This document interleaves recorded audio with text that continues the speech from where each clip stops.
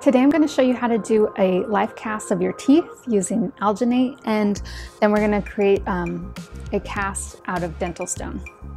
The alginate I'm using is a um, Monster Maker's Bite Gel and what we're going to do is use two parts bite gel. So I have a half a cup here I'm measuring out and um, I'm going to place that into a cup and then I have to put one, so two parts bite gel, one part water. water. So I'm gonna do a quarter cup. I, I did a half a cup of the bite gel and I'm gonna do a quarter cup of water. Okay, and then I'm gonna stir that. I didn't put all the water in. I'm, I'm gonna see if I measured properly.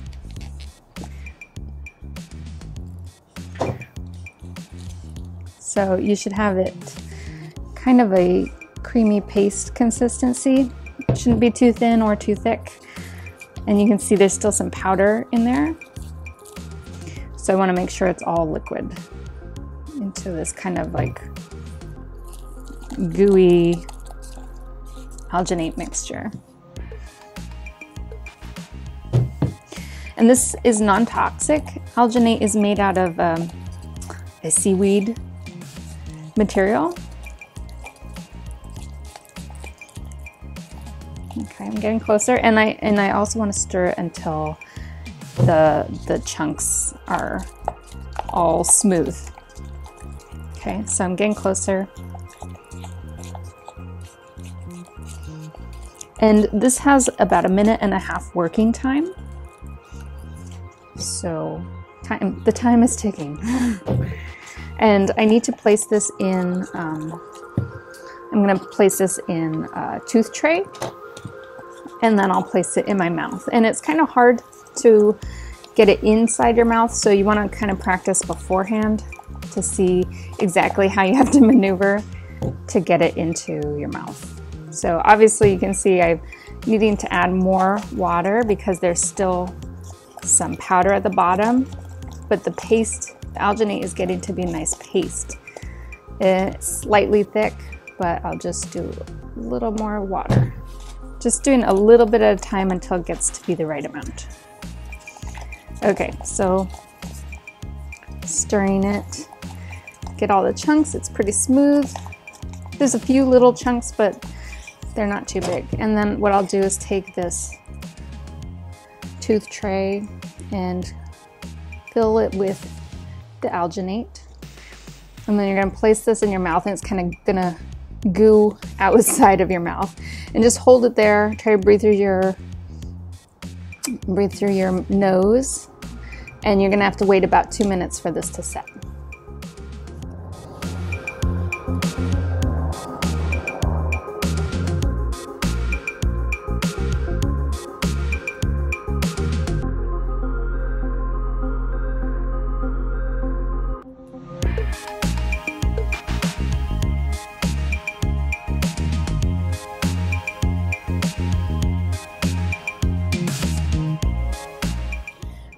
So when you are putting this um, tooth tray in your mouth and you have the alginate in there, you want to make sure that your teeth aren't touching the edge of the tray because you need the full impression of your teeth and you can't have any edges touching the tray part, otherwise your teeth shape will be a little off.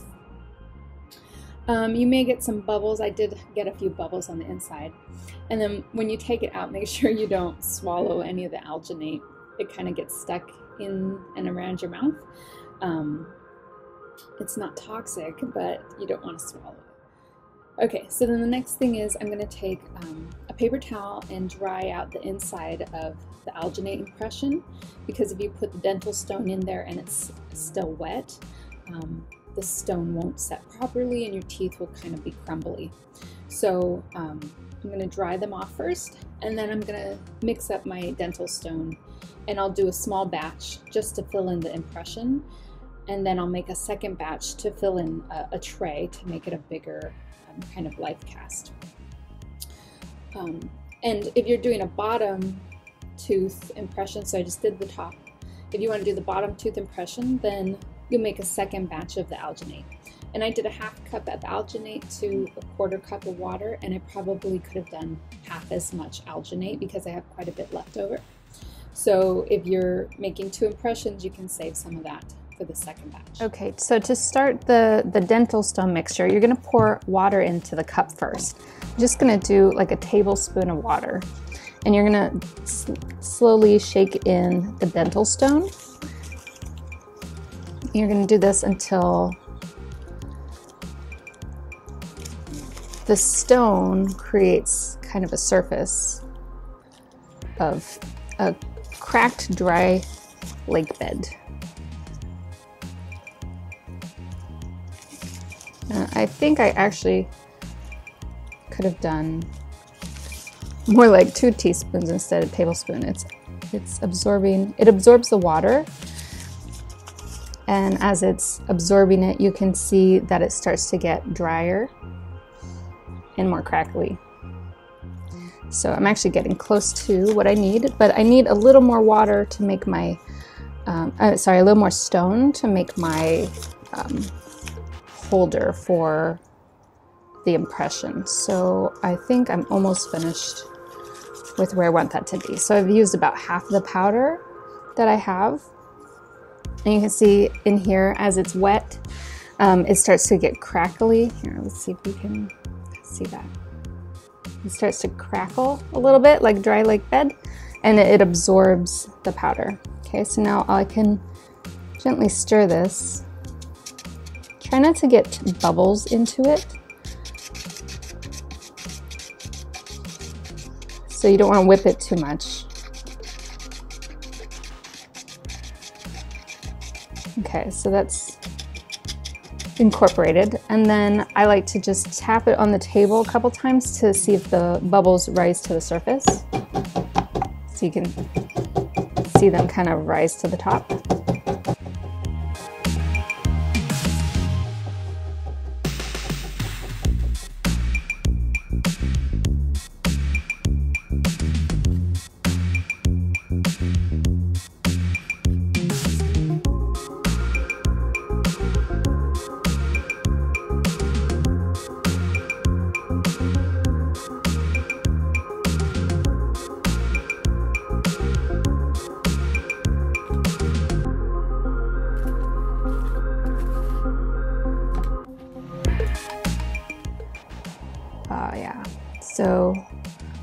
Lot of my teeth, the teeth edges did not um, cast. So you can see they're like only halfway.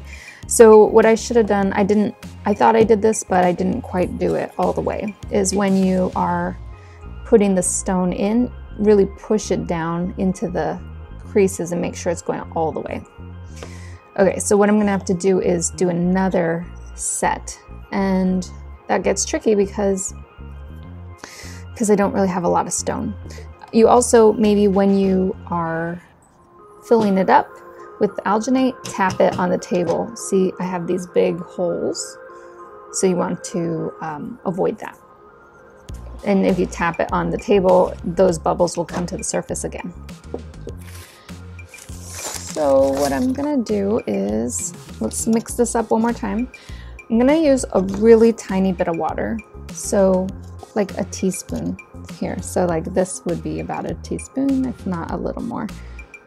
Just a little bit. I'm gonna take my dental stone, dry off my spoon, and do the same steps. I'm gonna try to do this um, a second time without ruining it. And like I said, I don't have a lot of stone, so I'm gonna try to make this happen.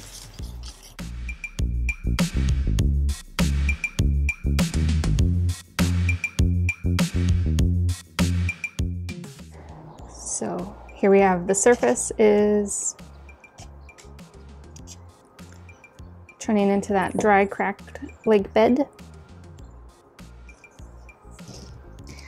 And I actually added a little too much. I'm just a dab of water. So now I can stir it.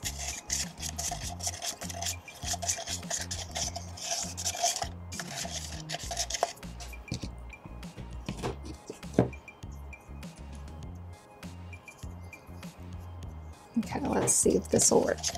So before I pour that in, I'm gonna tap tap the stone to get the air bubbles out.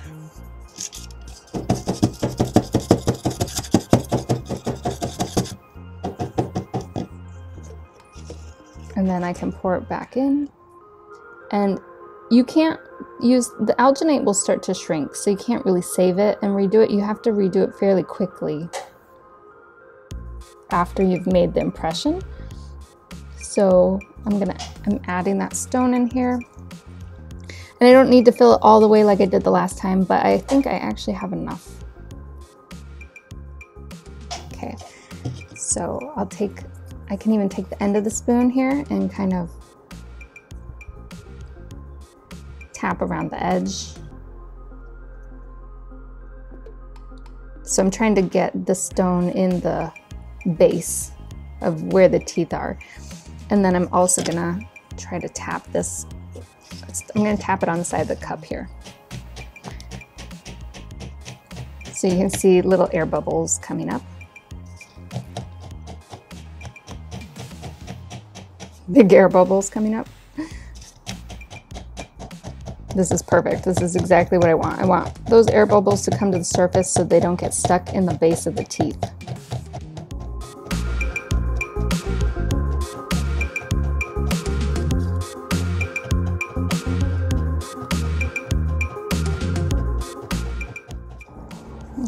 And I might just add a little more to top it off.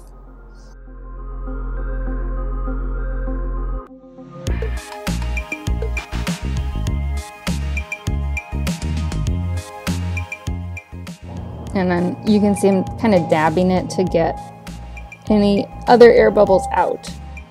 This is really important to make sure your mold, your teeth come out nice out of the mold. Okay, so then I'm just gonna let this sit. It might take a half an hour or so. Make sure it's totally dry before you peel it out of the alginate. Okay, so once the um, dental stone's fully set, you wanna make sure it's not wet at all. If it's a little wet or damp, then it's gonna be fragile. So make sure it's really set and hard.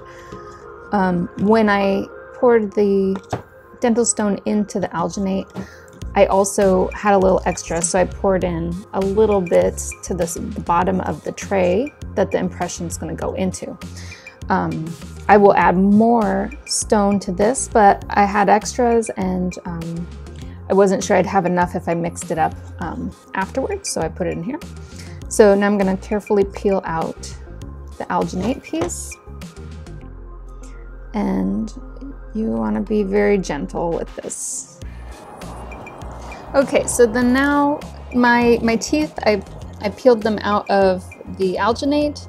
And what you want to do is sit them in water for about a half an hour and let them absorb that water and they'll get harder and more easily, um, they more easily attach to some new plaster.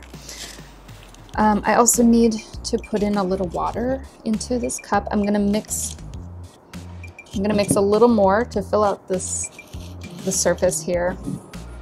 And then I'll, I'll rest the teeth inside. So let's see if they fit. That's where they're gonna go.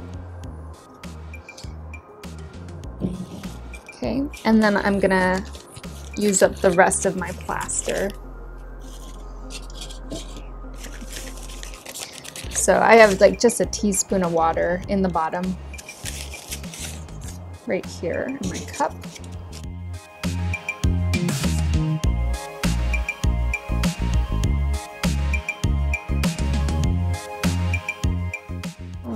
So that's the rest of my um,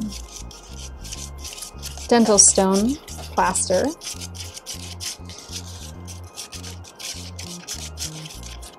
And there's not really um, that many air bubbles here, so I'm just gonna um, place the teeth right where I want them to be. I already pre-filled this with leftover dental stone that I had. And I also soaked that that piece in water so that it would adhere to this new layer a little better. I want to get all the material out because I need every last bit of it.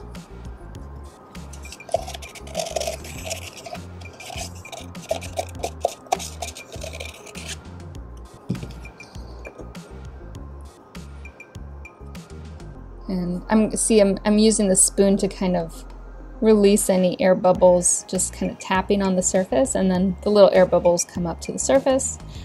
And I'm gonna try to embed this teeth imp tooth impression. And you wanna make sure all of the teeth are visible, that nothing is being covered by the plaster. And I will see if I can't get a little more.